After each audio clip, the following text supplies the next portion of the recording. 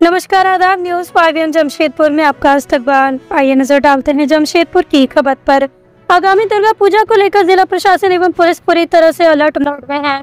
ज़िले के एसएसपी किशोर कौशल ने रविवार को इस संबंध में पीसीआर परिसर में टाइगर मोबाइल टैंक एवं पीसीआर जवानों से संवाद किया तथा उन्हें आवश्यक दिशा निर्देश भी दिए। उन्होंने तमाम ज़रूरी स्थलों पर बराबर गश्त एवं विधि व्यवस्था को दुरुस्त रखने का निर्देश दिया। साथ इसमें किसी तरह कोताही होने पर सख्त कार्रवाई की चेतावनी भी दी।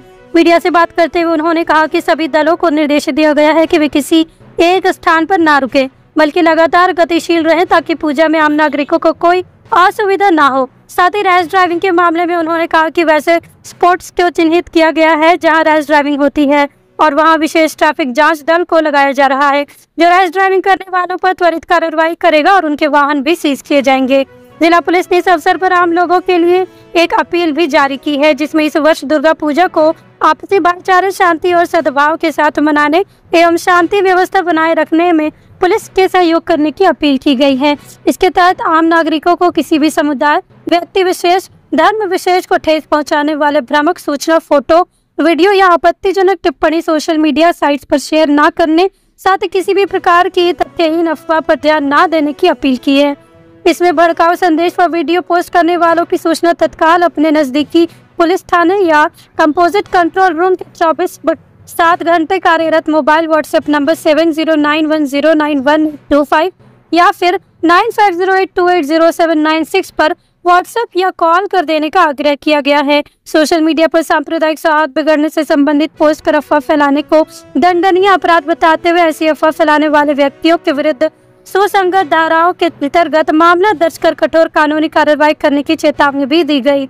ऐसे ही पुलिस की ओर से समाज में शांति व विधि व्यवस्था बनाए रखने के लिए जमशेदपुर वासियों से सहयोग की अपेक्षा भी की गई है। यही नई सूचना में ऐसी बातों की सूचना देने वाले व्यक्ति की पहचान गुप्त रखे जाने की जानकारी भी दी गई। शहर में जो पीसीआर काम करते हैं और तकरीबन 20 पीसीआर शहरी क्षेत्र में हमारे हैं। और कुल मिला के हाईवे पेट्रोल्स को लगाएँ तो वो उनतीस हो जाती है संख्या। और इसके अलावा 60 से ऊपर जो हमारी बाइक पेट्रोल्स हैं, वो कंटिन्यूस पेट्रोल करती हैं शहर के विभिन्न थाना क्षेत्रों में। तो उन सभी की एक तरीके से आज जॉइंट ब्रीफिंग की गई है, जिसमें सभी थाना प्रभारी और डीवाईएसपी भी उपस्थित थे। खास तौर पर त्योहारों के समय में हम देखते हैं कि पंडालों में, मेला क्षेत्र में और ख़ास तौर पर मार्केट कॉम्प्लेक्सेस में, दुकानों में बैंक्स में एटीएम्स में, इन सब जब, सभी जगहों पर काफ़ी ज़्यादा रश रहती है, काफ़ी ज़्यादा भीड़ भाड़ रहती है।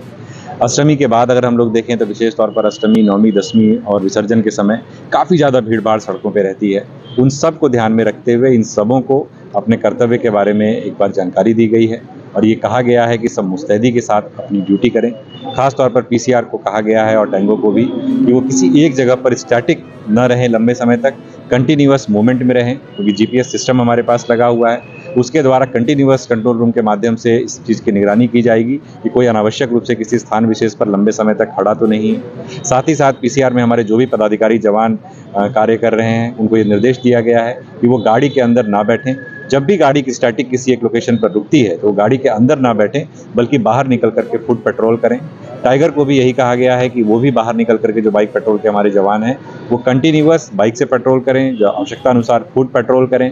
साथ ही साथ थानों को निर्देशित किया गया है कि जो उनके क्षेत्र के पीसीआर हैं बाइक पेट्रोल्स हैं और जो सादे लिबास में हम जो जवानों को लगाने जा रहे हैं, उन सभी की और इसके अलावा जो भी पदाधिकारी एंड फोर्सेस लगेंगे त्योहारों के दौरान, इन सब की थानों में जॉइंट ब्रीफिंग करें।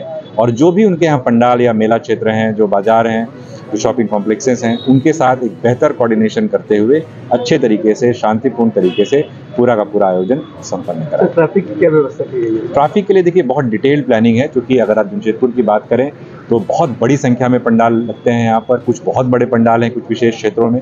तो उनको लेते हुए कोई एक लाइन में बता पाना मुश्किल है लेकिन उसके बारे में एक पूरी डिटेल्ड प्लानिंग है।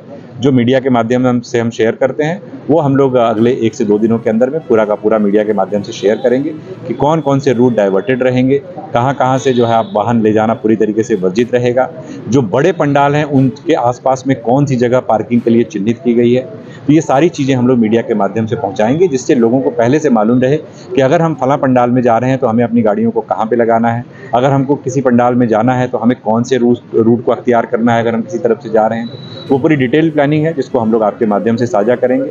नो एंट्री जो पीक डेज़ हैं त्योहारों के, उस दिन पूरी तरीके से नो एंट्री जारी रहेगी। विसर्जन के दिन भी इसी प्रकार से नो एंट्री की व्यवस्था रहेगी, जिसका समय आप लोगों के माध्यम से हम लोग लोगों को सूचित करेंगे।